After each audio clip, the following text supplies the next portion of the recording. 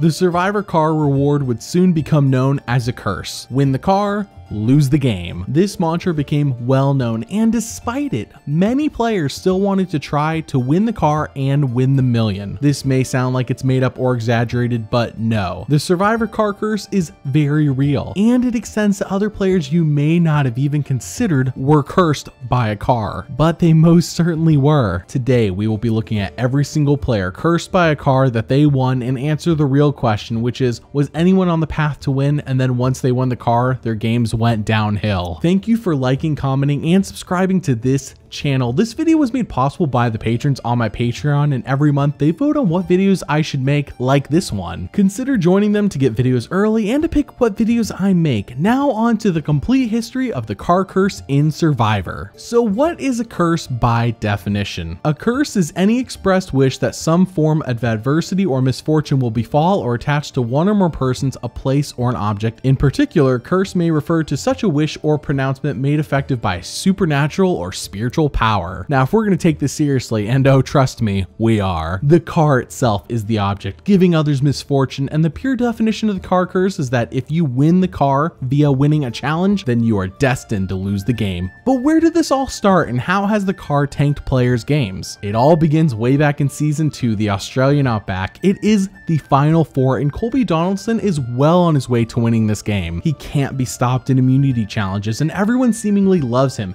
Nary a person has a bad word to say about him, but that is prior to the reward challenge where Jeff reveals that for the very first time, survivors will be competing for a vehicle. The reward includes a tent, a mattress, four wheels, and a key.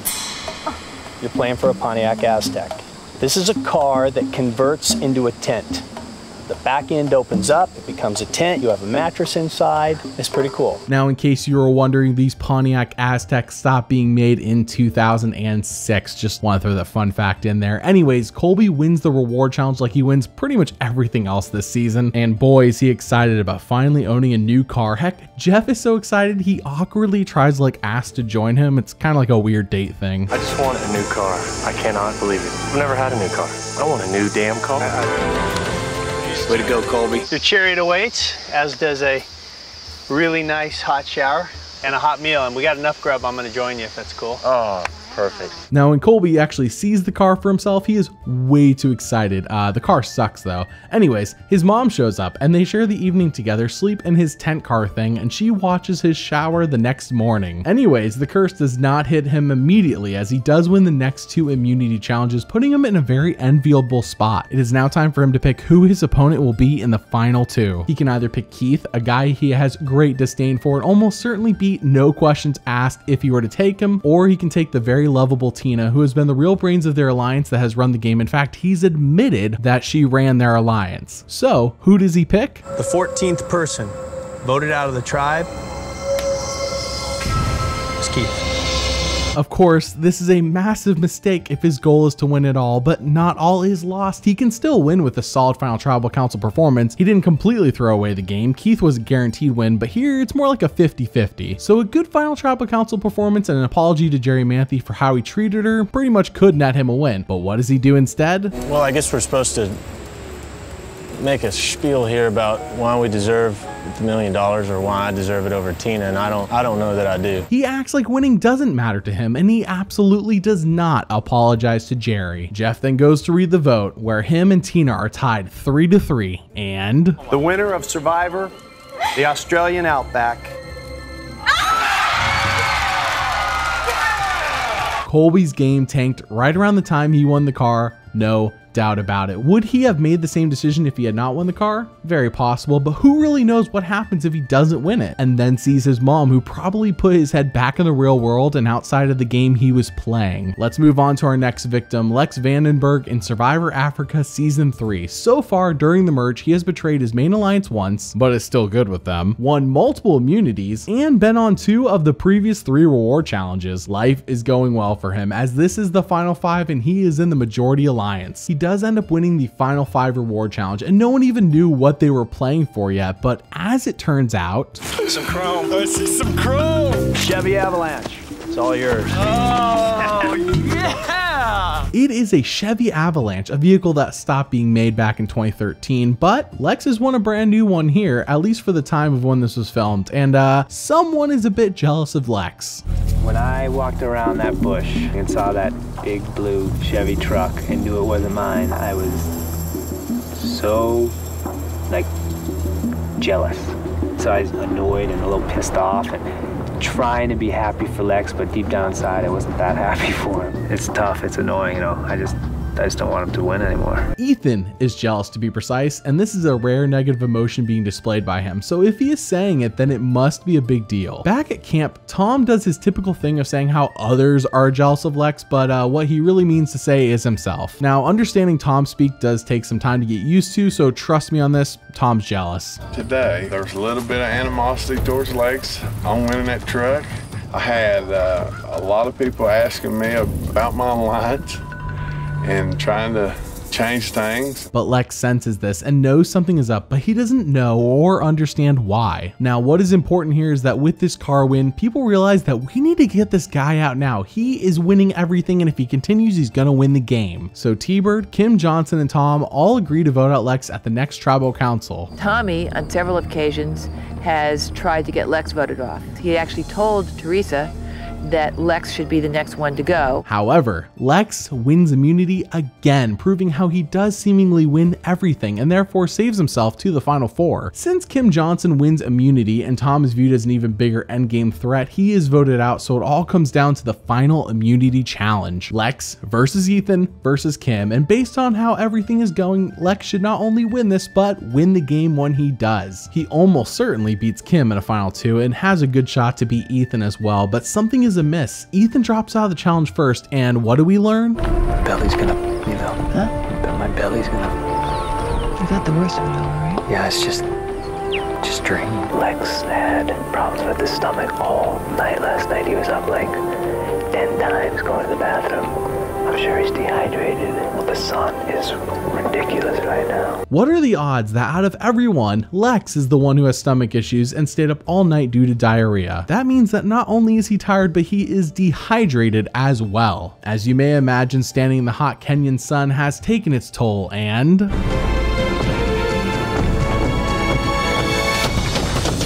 Lex, you're out. He blows final immunity, a challenge he certainly would have won if not for the out of left field illness that he contracted. At tribal council, Kim votes him out and reveals afterwards that she did so because of how much he had won so far and due to his entitlement. Is the car the reason he got sick? Probably not, but the movement to get him out of the game really garnered a big push once he won it, and in the end, all that winning became his downfall. We move on to Season 4 Survivor Marquesas, where Sean Rector is a dead man walking, and I mention this because it's important. He needs to win out on immunity challenges, or at least get to the final three where him or Vecepia win final immunity to reach the end. Now, even if he reaches the end though, does he win the game against anyone left? Absolutely not. That ship has sailed at this point. So at the reward challenge, when Jeff reveals that whoever wins the challenge gets a new Saturn Vue, a vehicle that stopped being made in 2009, Sean is ecstatic when he does win the car.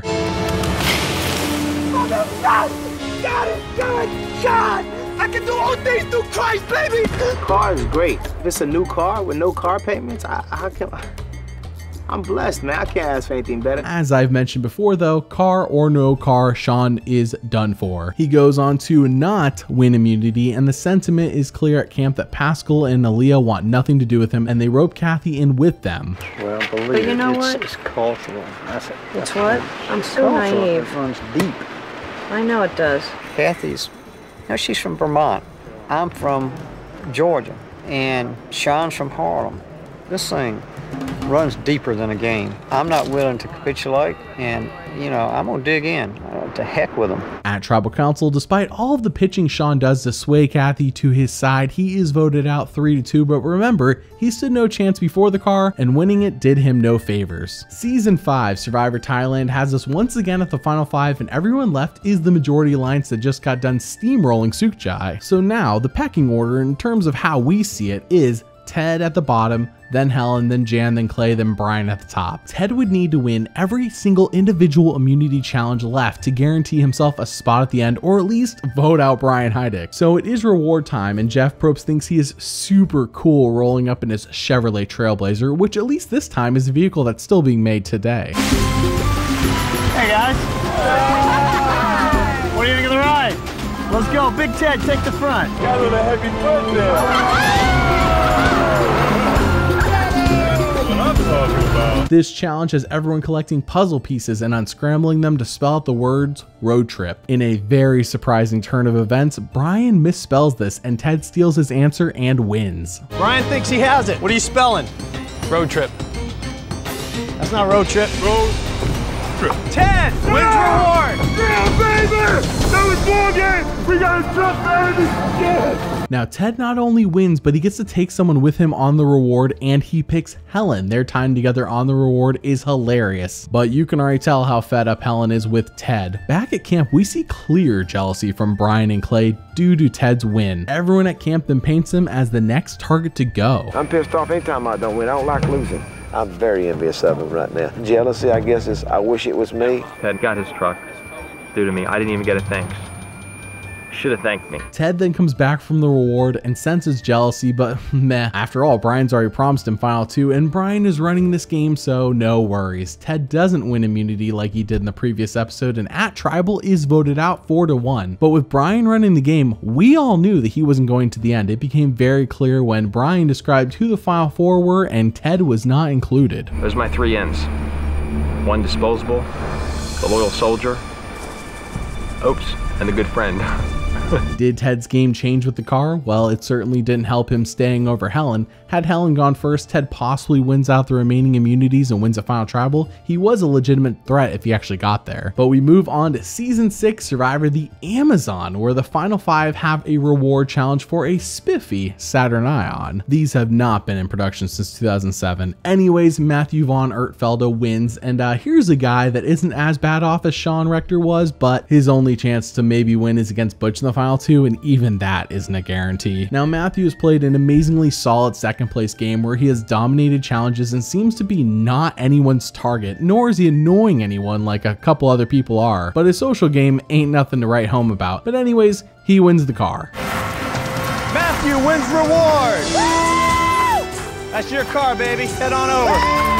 I really am very happy for Matthew. I'm very happy that he got to win the car. And I asked him that if he ever goes to Asia or if he ever returns to the planet that he came from, that he said I can borrow it and go out cruising for chicks. Now, we never actually hear if anyone at camp is jealous since so much time is focused in this episode, rightfully so, on how their camp burnt down while they were away at the challenge. Anyways, there are bigger fish to fry because Matthew is such a non-factor in almost everyone's games. He's a goat being dragged to the end essentially. This is only proven as everyone would rather vote out Butch and Rob Cesternino than Matthew at the final four and final three. He then reaches the end and gets blown out by Jenna in a six to one vote.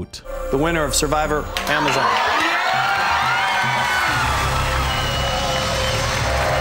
The car didn't tank his game because in this case, his game really couldn't be tanked any more than it already was in terms of having a shot to win it all. Season 7 Survivor Pearl Islands as a whole different beast in a few respects. Here we are at the final five, which is completely normal. However, part of that final five is Burton and Lill, who have already been voted out of the game once and have returned back. Since returning, Burton has been on a tear that has him looking like he is on track to win at Final Tribal Council against frankly anyone left in the game. He is golden, especially since his final two deal is with Fairplay, who everyone hates. The reward challenge here promises a night out in Panama, and Burton pulls off the win, and here's when the curse strikes him, though he isn't fully aware of it yet yet, as he brings Fairplay along with him in a cocky move, thinking that the three women back at camp will not conspire against them, and even if they do, who cares? He just won a GMC Envoy, which is a surprise. He didn't know this was going to happen. A truck that stopped production in 2008. Are we worried about the girls strategizing against us? No, I feel like we were pretty confident in our abilities. That yeah, I think we can squash their plans pretty quickly. Yeah. I, I mean, not one of them has had a strategy yet in this game. Yeah. I don't know why it's starting now. Yeah, exactly. John and I were just kind of shooting the breeze, talking about not talking about the car when we got back to camp because it is something that someone might hold against me. But anyways, back at camp, as you may have surmised, the three women being left alone is a crucial mistake, and it is all because Burton took Fairplay with him on the reward. His cockiness is doing him in as the three women conspire to get out Burton, but if he wins immunity, they say then it'll be Fairplay instead. Let's see who does immunity tomorrow, guys. Because I think we need to get think about Burton first. Because he's the strongest. So if Burton wins immunity, John's gone. Right? Right. If one of us three win immunity, Burton's gone. But that doesn't matter because Darrah does go on to win immunity, leaving both men open for elimination, and that is exactly what happens when the favorite to win it all gets cocky and blows the game, as he likely wins against anyone in the final two. 12th person voted out of the tribe.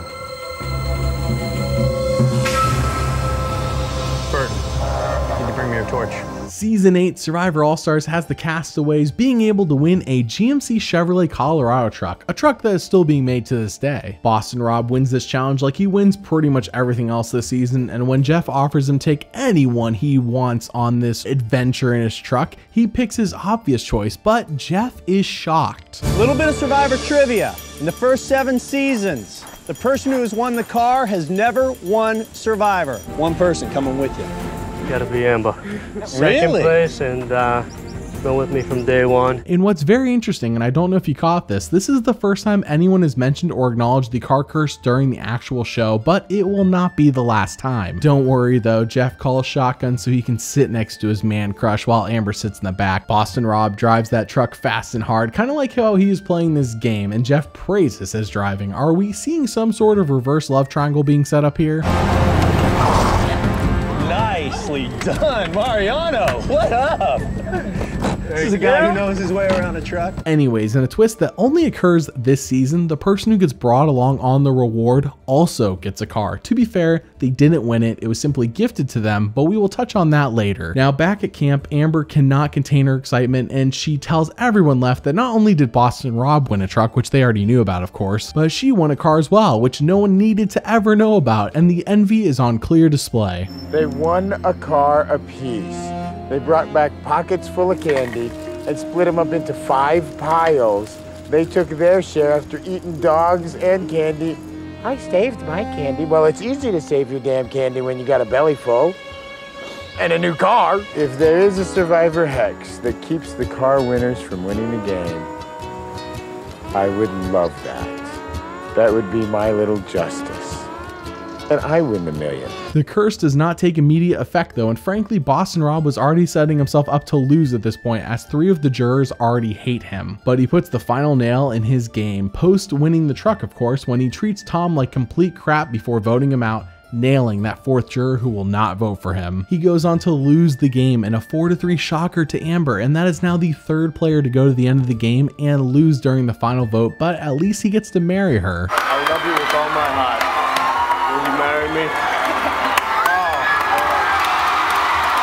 The winner of Survivor All Stars.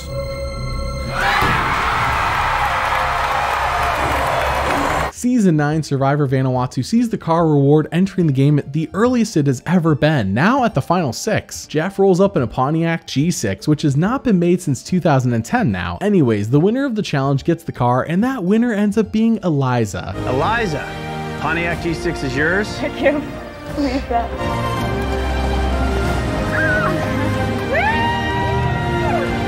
Like Sean and Matthew before her, Eliza is not going to win this game no matter what. She can reach the final two all she wants, but she's a goat, car or no car. All game, we have seen her be combative with people and generally disliked by almost everyone. So with that though, she does play a good enough game to survive the next two votes, but that is only because Amy and Julie are bigger threats than her and she does win an immunity challenge for herself. However, she gets blindsided by Chris at the final four in an epic fashion. The 15th person voted out of Survivor Vanuatu. Eliza, need to bring me your torch.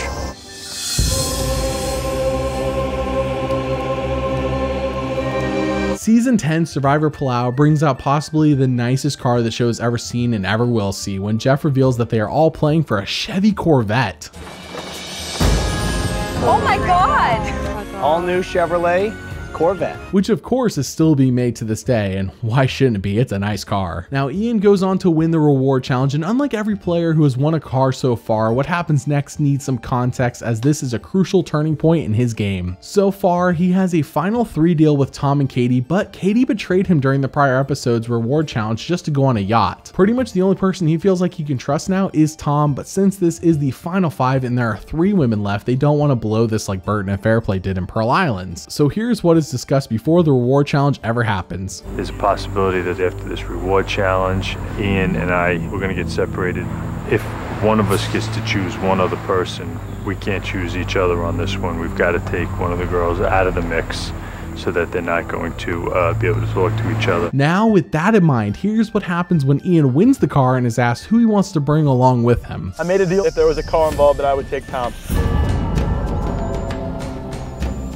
Do we have another Pearl Island situation on our hands? Yes, yes we do. As back at camp, Katie feels scorned and she dumps all the info she can to Karen and Jen. The whole thing went down since day one, Karen. I mean, Ian and I made a promise to each other that um, we would stick together till the end, and then he took Tom and I feel like I lost my best friend out here. Ian's game is just tanked from here until the end of the game. In a series of baffling decisions, Karen asks him if his final three is with her or Katie, and here's what he says.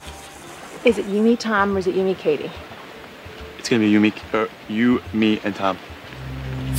I don't know if you caught that, but uh, he was about to say Katie and he stopped himself, but Karen caught it. He then gets torn to shreds at tribal council in front of the jury, and it is clear that no matter what, Ian is going to get dragged through the mud whether he likes it or not. And then after the whole thing with Ian taking Tom on the reward and Katie saying, well, he's made these promises to me and he's sworn his cross, and I'm thinking, oh my gosh, he's promising me this and he's promising Katie this.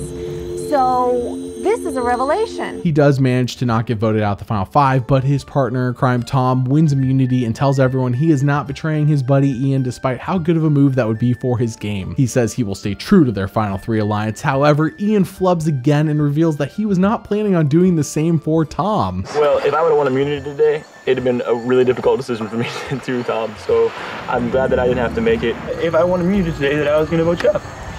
But uh, Tom, like, okay. That's, that's all I needed to know. But Ian does get Tom and Jen's vote against him, so he has to do a fire making duel, which he wins, and back at camp, he gets destroyed by Tom and Katie. As he continually lies and denies things, despite them both knowing better. This makes him feel like utter crap, and he says this is not how he planned on playing this game. That really sucks because you know what? Tom's been sticking up for you this whole time. Ian's never wavered.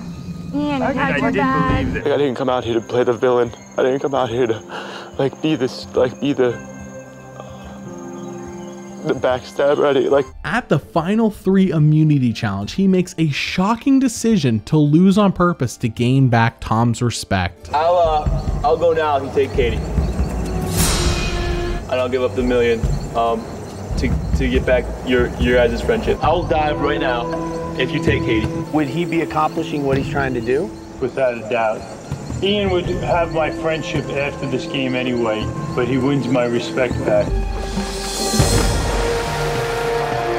Ian likely wins against Katie at the final tribal council, but in this case, he valued the friendship and respect of Tom more than the million dollars, a very admirable trait for anyone to have. With the next season, season 11, Survivor Guatemala, as he reveals the final five are playing for a Pontiac Torrent, which has not been in production since 2009, and says that winning this can curse your game and no one in the prior seasons who has won a vehicle has ever won the game. But in 10 seasons of Survivor, the person who has won the car reward has never, ever won the game. Some people, the superstitious kind, believe it is the curse of the car. However, Cindy wins the car and is given the very rare opportunity to not accept her car and give everyone else a car instead. So, what decision does Cindy make? I think I'm gonna say I would love to give everyone a car, but I'm here to beat the odds, and so far I have. On its face, this seems like a terrible decision, a game-ending blunder possibly. Well, let's look at how every player reacts and give context as to where Cindy stood before and after this decision. First, Stephanie is the player she takes with her on the reward, and Stephanie says, I would have kept the car. Stephanie was just like, oh my gosh, overwhelmed with enthusiasm for me. With only five people playing the game, Cindy only needs one more person to agree with her decision, so let's check in on Rafe. I just couldn't believe that that was the decision Cindy made. For me, that didn't seem like a choice. It was like, you have to give the car to the four other people. Like, there was nothing else I would have done. Like, I never would have taken the car for myself. He seems more baffled than mad, but I think it is fair to say he doesn't agree with the call. Now, what does Lydia think about Cindy's decision? In my mind, I'm thinking, Cindy, keep the car. You deserve it. You want it rightfully.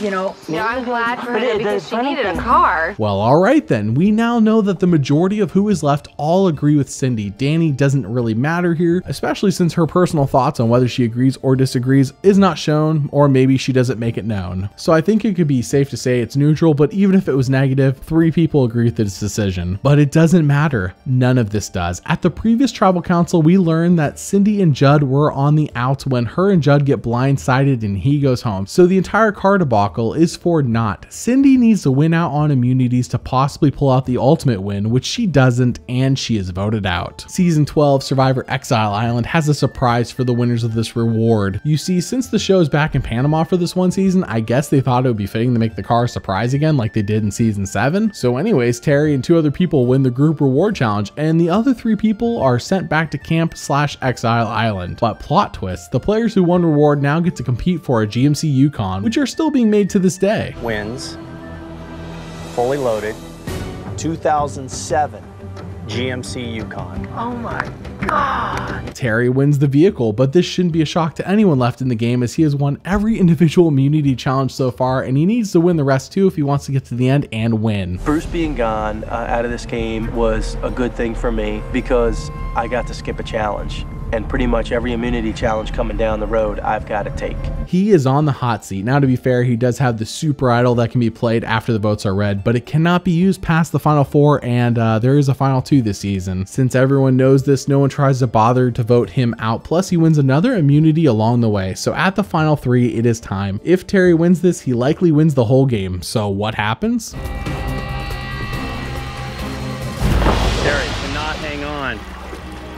The first person out of this challenge. Aras is out of the challenge. Danielle wins immunity. Danielle going to the final two. He blows it hard. Now, car or no car, he needed this immunity challenge win to get to the end as no one had Terry as part of their final two plans once the car reward happened anyways. But did the car curse him for winning this immunity and likely the game? Season 13 does not have a car reward challenge. We will touch on that in a bit, but season 14 Survivor Fiji is the final car reward and it is a doozy. I'm gonna make this a short story, but uh, it's a work of art. This is the final six and it is time for the car reward. Jeff reveals that everyone here is playing for a Ford Super Duty, a super expensive but very nice truck. Yau-Man ends up winning the truck, and before we continue, here is some context. Starting last season, there is no more Final 2. It is now a Final 3. Dreams has publicly said during the season he doesn't own a vehicle and seems completely enamored by winning one, as I would be too. So Yau-Man, knowing he has an immunity idol in his pocket and knowing he is not the biggest threat left in the game, strikes a deal with Dreams. If he happens to win the Final 4 immunity challenge, then Dreams agrees to give Yau-Man his necklace. This is an incredible offer on its face, so Dreams accepts it. I want to see if I can make a deal with the car. You're going to negotiate with I'm the gonna negotiate a deal. Happen to be one and four. If that happens, if you win the immunity for that round, you'll give it to me. I promise to God. Okay, so keeping this in mind, the deal is Dreams gets the truck no matter what. However, Yau-Man is gambling on Dreams winning at the Final Four and staying true to his word, which Dreams states multiple times after this that he intends to do so. So why did Yau-Man make this deal? My worry has been always when I get to the final four, dreams will probably be there. And I need a way to get rid of dreams. I was thinking, when Yau-Man gave me the car, what did he gain out of that? And then I thought about his strategy. If I give Yau-Man immunity off my neck, I'm gone. Sneaky, sneaky, but Dreams isn't an idiot. He knows what's going on here. He figures if he can get Yau-Man out before the final four, then he is golden. A good thought, to be fair. He gets to keep the truck and he doesn't have to break his word. So Dreams mobilizes everyone he can, and at the tribal council, Yau-Man is playing the hidden immunity idol. Yau-Man's immune from tonight's vote. Any votes cast for Yau-Man do not count. Yau-Man, that vote does not count. Yau-Man, that vote does not count. Yau-Man. 13th person voted out and the seventh member of our jury, Stacy. Dang. Yau-Man smartly made the first ever confirmed successful idol play. Gary's in Guatemala isn't guaranteed successful, it just seems circumstantially likely. Anyways, Yau-Man wins the final five immunity challenge, so he can't be blindsided there either. However, it is now time for the final four immunity challenge, and it comes down to him and Dreams. A perfect scenario for Yau-Man, but a nightmare for Dreams. So what happens?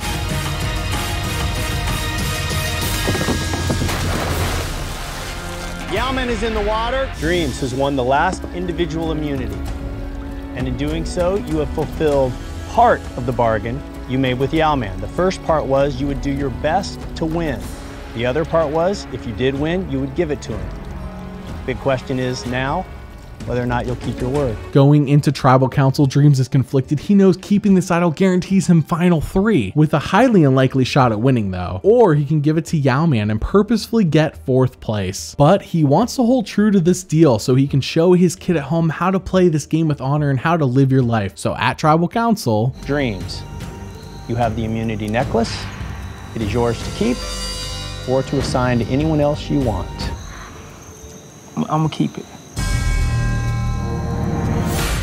He keeps it for himself. Honestly, from the time the car challenge happens up until this moment is so beautiful as a story. Yau-Man is then voted out, and if the curse is real, Dreamz can't win. That's that's really what we've learned so far. So at Final Tribal Council, he is torn apart for his decision by others, but not by Yau-Man. He actually absolves Dreamz of his guilt. Dreamz, what went down yesterday was entirely my fault. The truck was given to you in good faith.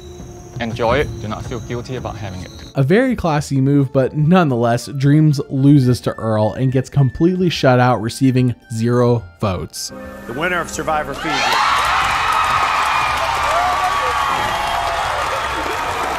So that is the car curse as it is commonly looked at by the masses and frankly by Jeff Probst in season 11. There have been no more car rewards since then and honestly what a high note to leave it on. But during these first 14 seasons, other people won cars as well and I wanted to test the waters to see if they were cursed as well. Starting with Richard Hatch in Borneo, he is given a car as kind of an afterthought for winning the season so it is too late for him to be cursed in Borneo, but he does get voted out pre-merges next time playing and he doesn't pay his taxes on the million that he wins and spends a couple years in jail as a result so you be the judge. At the season four reunion show, literally everyone wins a car. Yes, it's kind of an Oprah moment, but before Oprah does it. However, no one is ever asked back to play again except Boston Rob and Kathy. Now, Kathy gets the curse by making a terrible decision in All Stars that does her entire game in when she keeps Amber around over Jerri. And Boston Rob, well, we already talked about him, but uh, I think he got a double dose of the curse because in Heroes versus Villains, he gets outed and screwed by an out of left field Tyson move. We already learned that Amber got a car for going on the reward with Boston Rob, and fair enough, she wins the season. So if anyone completely sidesteps the curse, it was her. However, the next time she plays in Winners at War, she is voted out at her first tribal council. So at the All Stars reunion show, Chevy lets Amber picks someone else to win a car and gives her like 10 seconds to make a decision. So she just gives it to Shii Ann, who has never been asked back to play again. The winner of season 10 also wins a Chevy SSR, so Tom gets it. And upon his return to play in Heroes vs. Villains, he is voted out in the pre-merge. Once again, in season 11, the winner gets a car, this time a Pontiac Torrent, just like what Cindy had won earlier in the season. So this time Danni gets it. And in her return to playing Survivor on Winners at War, she is voted out third. Season 12 gives a car to the fan favorite for that season as voted on by the fans, of course, and Cirie wins it. Since the season is already over, she can't be cursed